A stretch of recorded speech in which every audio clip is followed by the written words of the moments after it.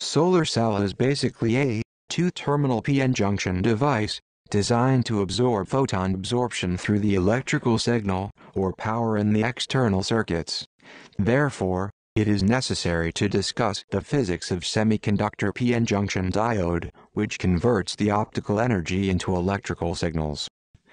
Connect the solar cell to the sockets marked on trainer kit.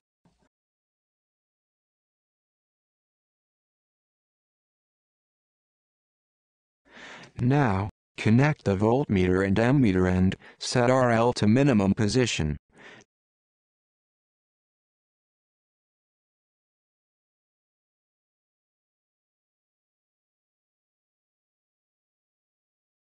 Now, note the position of solar cell on the wooden plank. A 100 watt lamp is arranged over the solar panel, such that light falls on it at normal. The lamp is placed at maximum distance, and is switched on. Now, note down the voltage, and the position of the solar cell, and take readings by changing the distance of solar cell.